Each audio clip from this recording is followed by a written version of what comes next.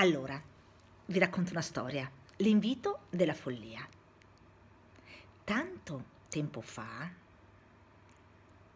la follia decise di invitare tutti i sentimenti per un'insolita riunione conviviale.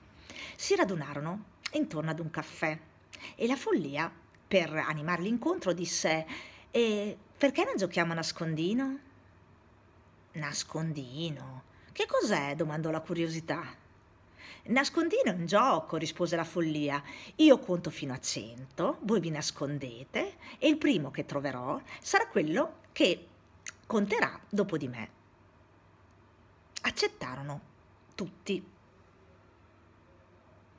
quasi tutti, ad eccezione, infatti, della paura e della pigrizia, che rimasero a guardare in disparte. Uno, due, tre. La follia cominciò a contare. La fretta si nascose per prima, dove le capitò. La, la timidezza, esitante come sempre, si nascose dietro a un gruppo di alberi. La gioia corse festosamente per il giardino, non curante di trovare un vero e proprio nascondiglio.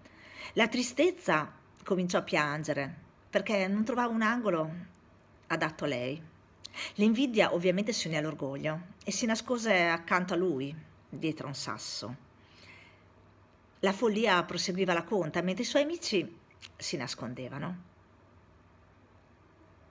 La disperazione era tristissima, disperata, perché si rendeva conto che la follia piano piano stava arrivando a cento. Cento, infatti, gridò la follia. Adesso verrò a cercarvi. La prima ad essere trovata fu la curiosità, perché non aveva potuto impedirsi di uscire per vedere chi sarebbe stato il primo ad essere scoperto. Guardando da una parte la follia vide l'insicurezza sopra un recinto, che non sapeva da quale lato avrebbe potuto nascondersi meglio. E così di seguito furono scoperte la gioia, la tristezza, la timidezza e così via via tutti gli altri.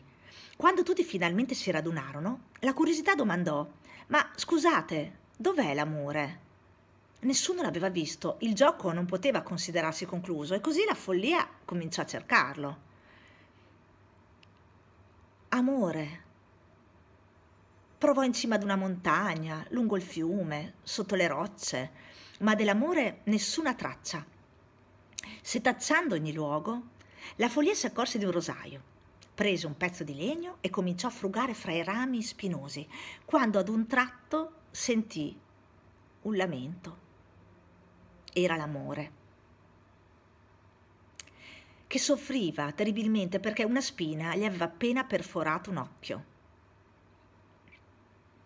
La follia non sapeva che cosa fare, si scusò per aver organizzato un gioco così stupido e implorò l'amore per ottenere il suo perdono e commossa dagli esiti di quel danno irreversibile arrivò al punto da promettergli che l'avrebbe assistito per sempre. L'amore rincuorato accettò le promesse e quelle scuse così sincere. Così, da allora, l'amore cieco e la follia lo accompagna sempre.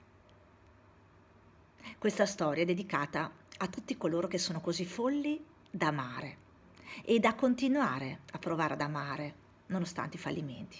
Questo è il mio augurio per il 2016. Tanto amore.